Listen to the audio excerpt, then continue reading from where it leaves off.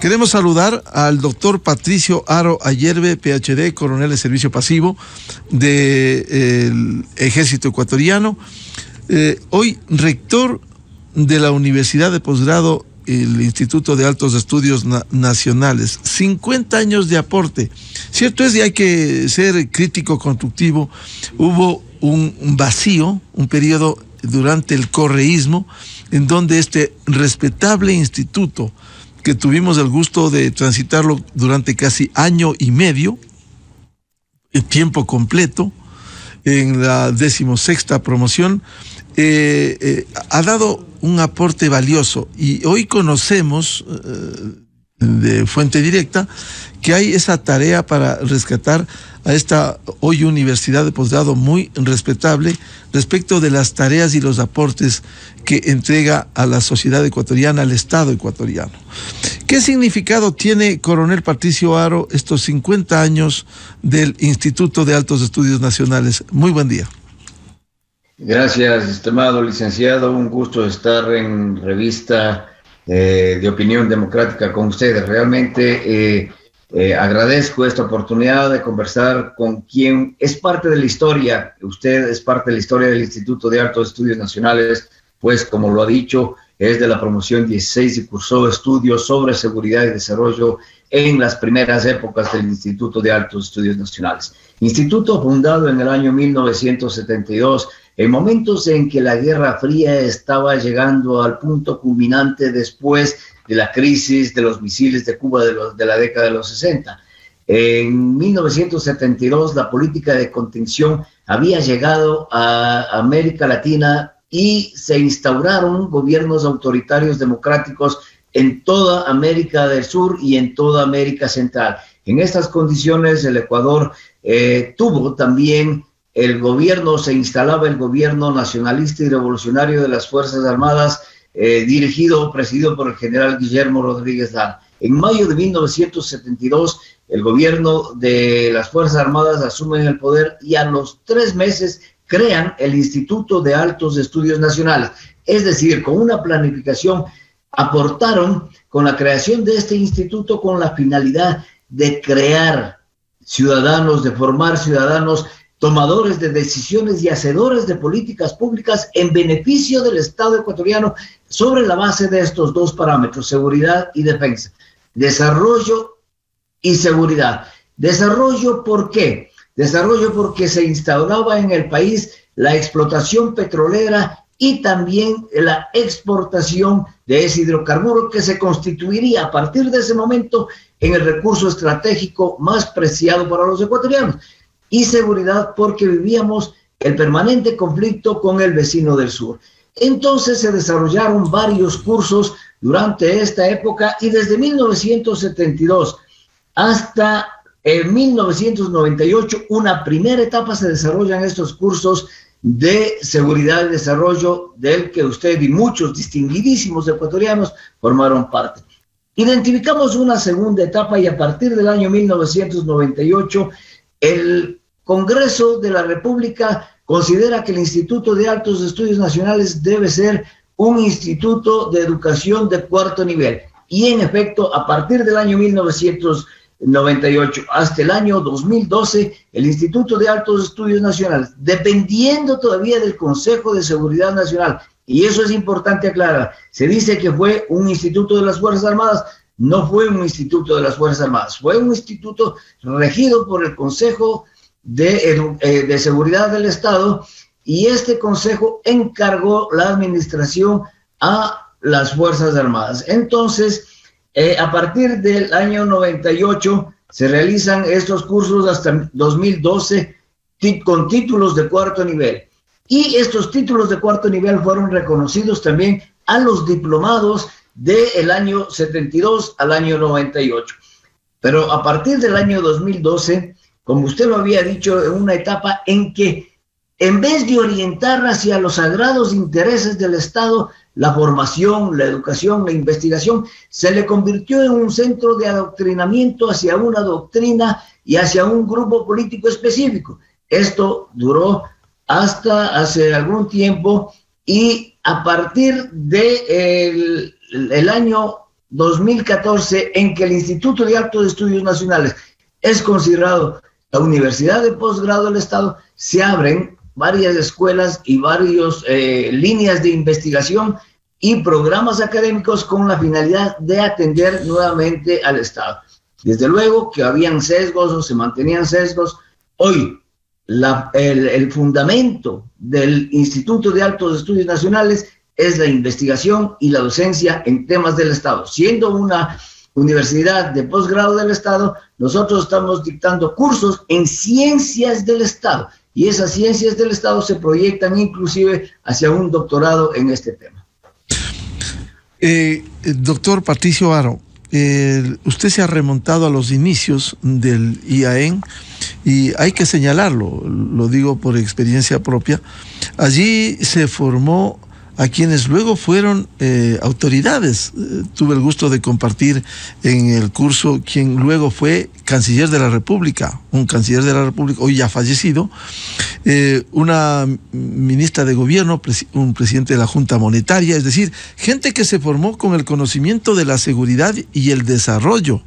Y allí por lo que usted señalaba, no era un centro militar exclusivamente. Cierto es que hubo eh, eh, participantes de las tres ramas de Fuerzas Armadas, el Ejército, la Marina, la Aviación, eh, la Policía Nacional, pero la gran mayoría, la gran mayoría era civiles y que luego de estudiar la seguridad y el desarrollo se proyectaban en el país, vengan desde la fuente de la educación, del magisterio nacional, del sector de la salud, de la planificación, de la Junta de Planificación, es decir, esto concentraba para formar profesionales que permitan ver de otra manera una realidad completa del Estado ecuatoriano, eh, doctor Patricio Sí, en efecto fue así. El estudio del Estado es el, el, origen del Instituto de Altos Estudios Nacionales. Desgraciadamente, una época se desvirtuó hacia intereses de ideologías y en un momento también se confundió la administración del Estado con la administración pública y de gobierno. Los temas del Estado son fundamentales.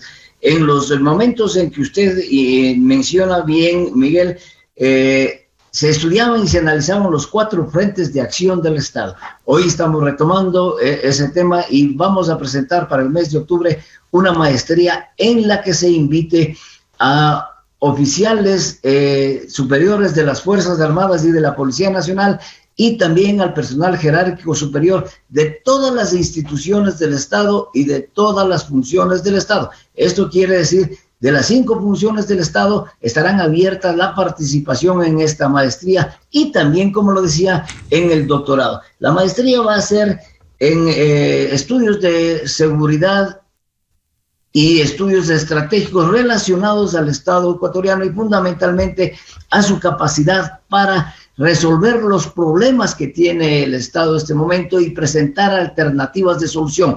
Esa es la misión del Instituto de Altos Estudios Nacionales y de manera alguna orientar la eh, capacitación y la investigación, las líneas de investigación de nuestros estudiantes y de nuestros académicos hacia eh, intereses particulares de grupos o de personas.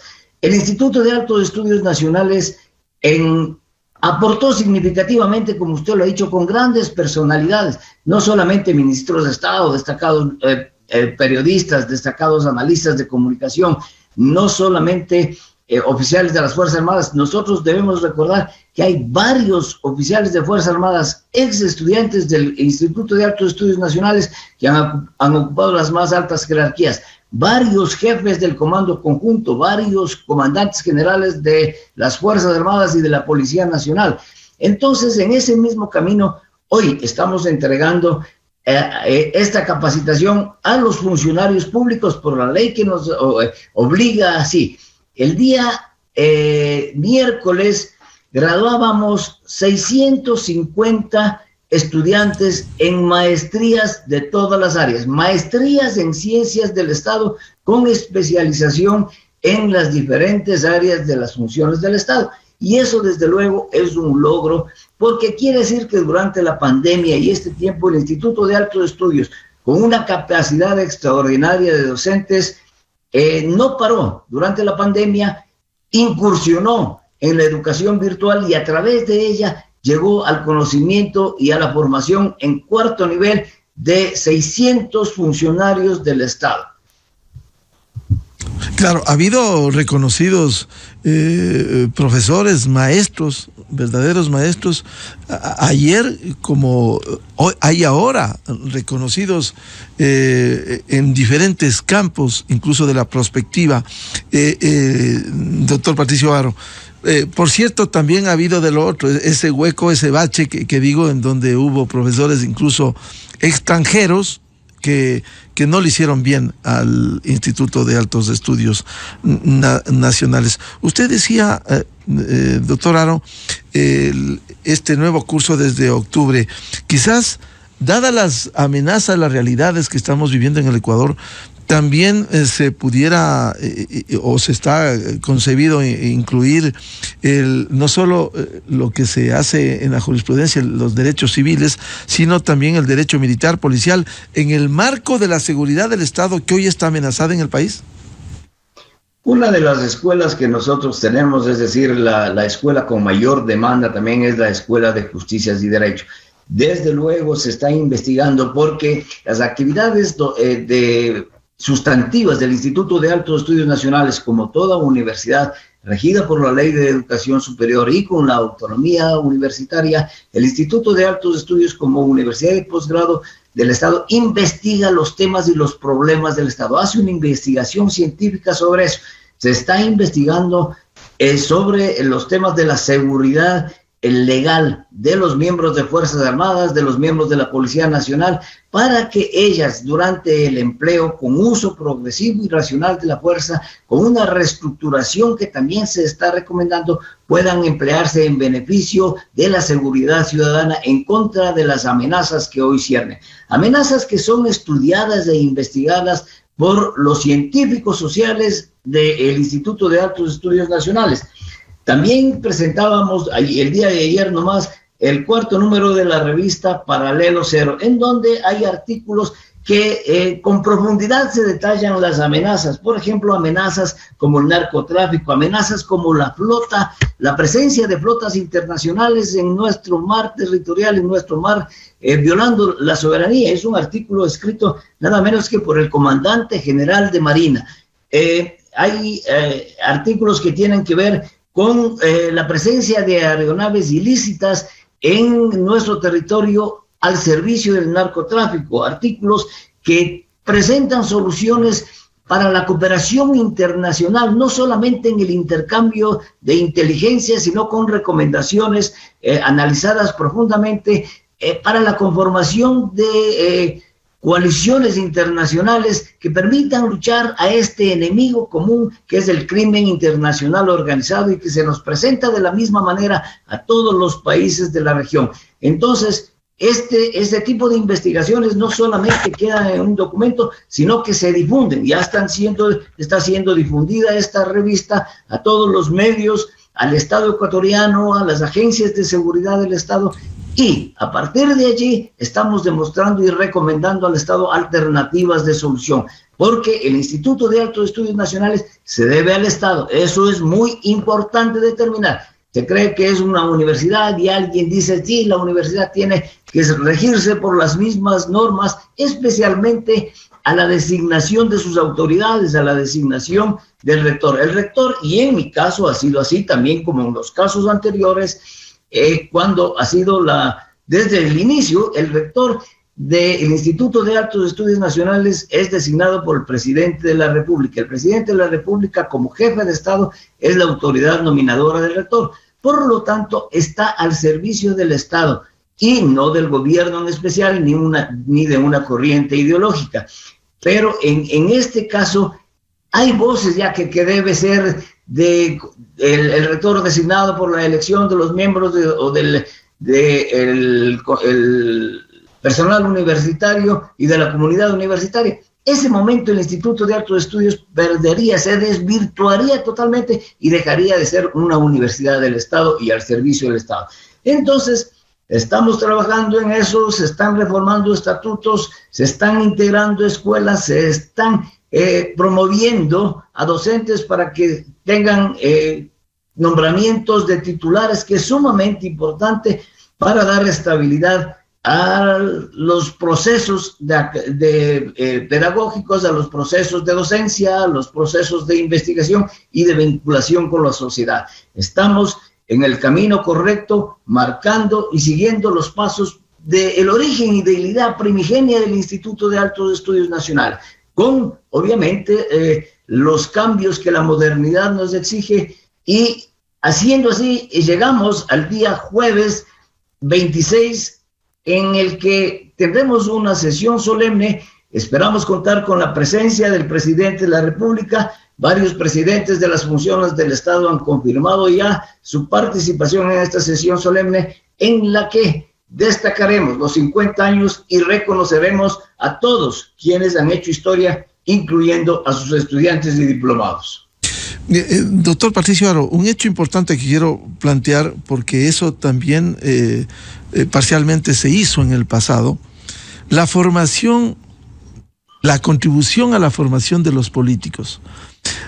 Eh, y, le voy a citar dos casos. Cuando cubría hace aproximadamente 35 años eh, la entonces Cámara Nacional de Representantes, hoy Asamblea Nacional, hubo incluso un presidente en funciones que eh, fue cursante del curso de seguridad y desarrollo en funciones en esa época.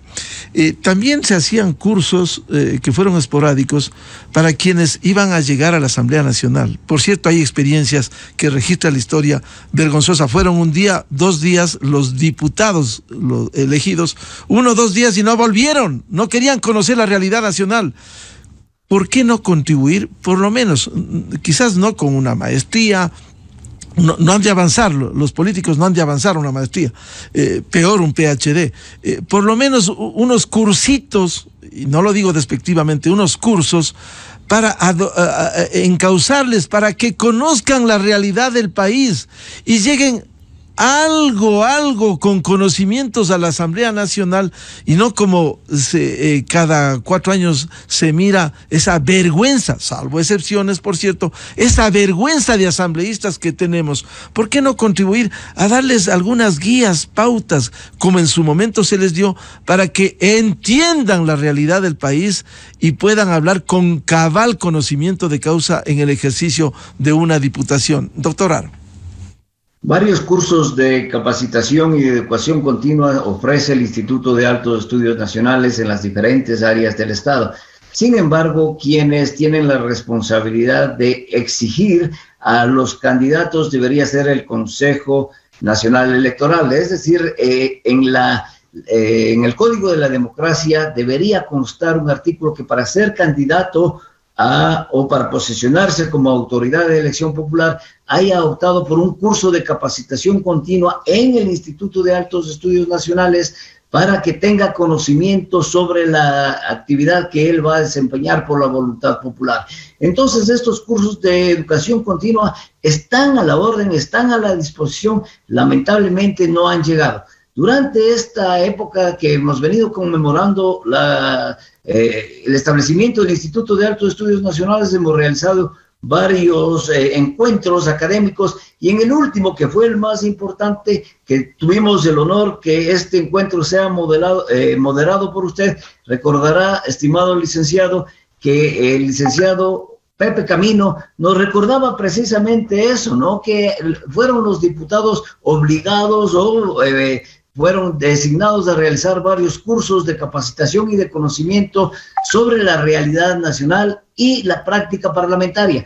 Sin embargo, Pepe Camino nos recordaba que el primer día fueron los 70 diputados electos, el segundo día fueron la mitad y el último día ya no fue nadie. Entonces, como usted dice, el interés no está y no depende del Instituto de Altos Estudios Nacionales, sino de quienes llevan la representación del pueblo ecuatoriano, quienes tienen esa obligación de representar dignamente. El Instituto de Altos Estudios Nacionales está dispuesto, está abierto y pone a la disposición y ha puesto a, la disposición de todas las funciones del Estado cursos de capacitación continua, cursos de educación continua que nos permitan o que permitan eh, recordar o actualizar en los conocimientos de la administración del Estado, en los conocimientos de lo que es el Estado y cómo debe administrarse el Estado.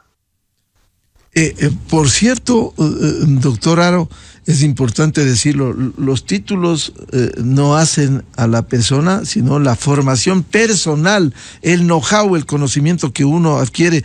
las herramientas y los títulos no es que no sirven, sirven y de muchísimo, pero quizás no es la presentación. Tuvimos aquí un PhD que manejó el país a, la patada durante y con corrupción durante 10 años. Eh, eh, tuvimos incluso, y no estoy seguro, pero sí dictó dictó al menos charlas, conferencias, no sé si llegó a ser profesor en esa época, asiaga de, del correísmo, el señor Carlos Polis Payoni, que también exhibió títulos, exhibió títulos, y yo no sé si llegó a ser docente en esa época del IAEN y, y, si fue cursante, pero eh, eh, quiero decir que también eh, eso es reflejo de nuestra sociedad. En efecto, el, control de la designación del Contralor del Estado, ese, ese Contralor de 110 sobre 100, hoy sabemos que es un delincuente que está a órdenes de la justicia norteamericana. Sin embargo, eso nos hace pensar que la designación de las autoridades de control deben estar eh, sobre todo valoradas por sus principios y también por su norma de conducta y procedimiento, no hacia el mejor postor y hacia el mejor eh, o el peor calificado, pero siendo el mejor, el mejor postor económicamente hablando. Eh, hoy eh, el Instituto de Altos Estudios Nacionales cuenta también con una escuela de economía. Esta escuela de economía da cursos de capacitación continua, habíamos dicho, a funcionarios de la Contraloría General del Estado, en donde se dictan no solamente conocimientos, sino también se dan charlas sobre valores que deben eh, normar la vida de la sociedad, no solamente en el Ecuador, sino en el mundo, de valores que permitan luchar con uno contra una de las amenazas más grandes que tenemos, que es la corrupción. Y la corrupción solamente se eh, lucha con valores, no con control, sino con valores que se inculquen en la educación y en la formación de todos y cada uno de los ecuatorianos, especialmente en nuestros niños y jóvenes. El Instituto de Altos Estudios Nacionales eh, ha tenido también, desde luego, eh, estos elementos como el que usted menciona, pero se están dando a través inclusive de colaboración de organizaciones internacionales, eh, conferencias y charlas en cada uno de sus programas académicos sobre lucha contra la corrupción. La corrupción es uno de los más grandes eh, males que tiene el país y debemos enfrentar todos los ecuatorianos con todas las armas. Una de las principales es la educación y en eso aporta el Instituto de Altos Estudios Nacionales. ¿Cómo acceder? Muchos se pudieran preguntar cómo acceder a la Universidad de Posgrado hoy, eh, eh, el Instituto de Altos Estudios Nacionales, con todas las dinámicas tan cambiantes, porque eso hay que reconocer, hay que ponerse ah, eh, en la actualidad y mañana seguramente cambian los pensum, cambian las necesidades. ¿Cómo acceder y qué se está ofertando hoy, 50 años después, doctor Aro? El Instituto de Altos Estudios Nacionales eh, presenta, como le decía, tiene 32 programas académicos y de esos se oferten en dos eh, convocatorias al año. La primera convocatoria se hace en mayo, está iniciando, y la segunda convocatoria se hace en octubre. Para cada una de las convocatorias nosotros hemos desarrollado como consecuencia de la pandemia un campus virtual. Es decir, quienes están interesados en, en postular, sean funcionarios públicos, funcionarios del Estado o personas que tienen relación con su actividad privada, pueden optar con un clic el ingreso a nuestra página web en eh, todas, las, eh, todas las redes sociales y a partir de allí, en la página principal del Instituto de Altos Estudios Nacionales, postular llenando un formulario muy simple. Es decir, con un clic se puede ingresar. Una vez que están en la página web, llenan los datos como de filiación, como cualquier solicitud y postulan para una de las maestrías en ciencias del Estado que hoy está ofertando el Instituto de Altos Estudios Nacionales en sus seis escuelas. Entonces, eh, el trámite es absolutamente fácil, el costo de las maestrías está, es altamente competitivo, es decir, la maestría eh, está alrededor de los cuatro mil dólares. El Instituto de Altos Estudios Nacionales ofrece descuentos por condiciones socioeconómicas, ofrece descuentos si el pago es eh, efectivo. Y además eh, ofrece descuentos y posibilidades de financiamiento, no solamente con medios, con cooperativas o instituciones financieras, sino que ofrece también posibilidades de pago a través de tarjetas de crédito. Entonces, las eh, posibilidades de acceso al Instituto de Altos Estudios Nacionales realmente son muy fáciles y todo, todo el proceso puede ser digital, desde el, su ingreso para el registro hasta la titulación es un proceso digital que se está llevando a cabo hoy a través de las redes. Entonces, eh, la invitación obviamente a los estudiantes, a quienes eh, buscan postular por un título de cuarto nivel en materias relacionadas con el Estado ecuatoriano para que acudan a nuestra convocatoria, la convocatoria de octubre que iniciará y se abrirá en los próximos días. Estamos dispuestos a recibir. Es eh, una de las tres universidades de posgraduación del Estado del, del Ecuador. La Flaxo, la Universidad Andina y el IAEN son las tres universidades de posgrado del Estado y eh, el Instituto de Altos Estudios Nacionales específicamente en materias y en ciencias relacionadas al conocimiento del Estado. Bien, mi reconocimiento a lo que hace hoy, 50 años después, la Universidad de Posgrado, el IAEN, en donde cuenta con una plana de respetables y, eh, conocedores de cada una de sus materias, maestros que integran la plana de esta universidad de posgrado. Al rector de la Universidad de Posgrado, IAN, el coronel de servicio pasivo, doctor Patricio Aro Ayerbe, muchas gracias por atender a la revista de Opinión Democracia y hemos hablado también de temas de país en la formación tan fundamental para administrar el Ecuador. Muchas gracias a usted y felicitación a usted también, Miguel, porque es parte de la historia del Instituto de Altos Estudios Nacionales. Muchas gracias, el doctor Patricio Aro, rector del IAN, aquí en la revista de Opinión Democracia.